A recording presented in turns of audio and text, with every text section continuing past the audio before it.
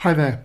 Now for this next part, part C, we were given the probability of A given B was equal to 0.6 and now we're asked to find the probability of A intersected with B.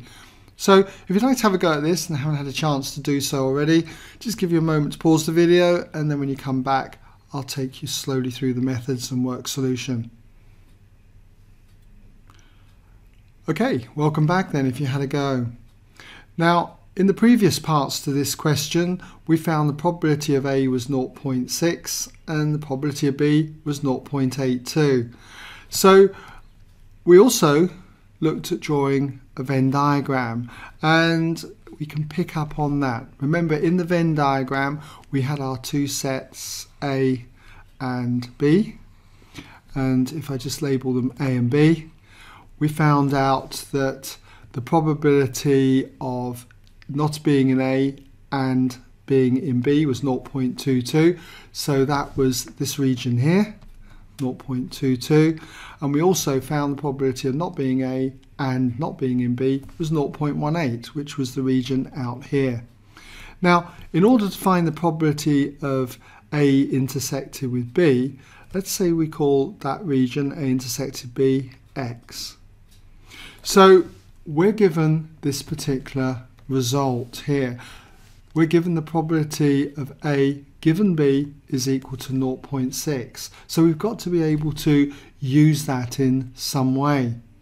So let's just remind ourselves then that if we're given the probability of A given B, then this is a standard result, which is the probability of A and B, probability that both events occur compared with the given event, the probability of B. Alright?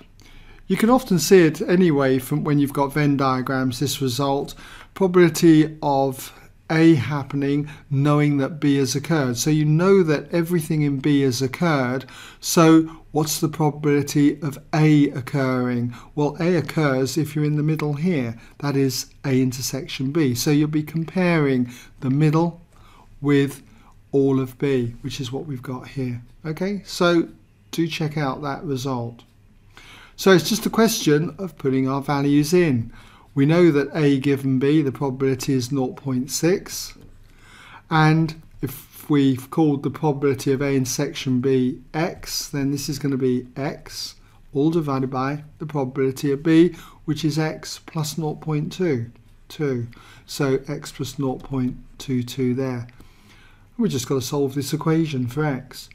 So what I'm going to do is times both sides by x plus 0.22. So you're going to get 0.6 times x and 0.6 times 0.22, which is 0.132.